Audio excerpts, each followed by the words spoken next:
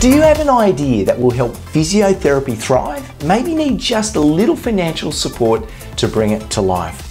The Physiotherapy Research Foundation is proud to announce PitchFest as part of the APA Thrive 2021 conference. Innovation can be applied to all kinds of places, from private practice to patient treatment, patient experience to business and hospital processes and even research. Now really is the perfect time to get involved. And one other really big reason why you should join the 2021 PitchFest is that finalists will have the opportunity to pitch their ideas at the conference and be in the running for the $15,000 first prize. Now applications are open but they close on Friday the 23rd of April so head to australian.physio forward slash pitchfest for full details.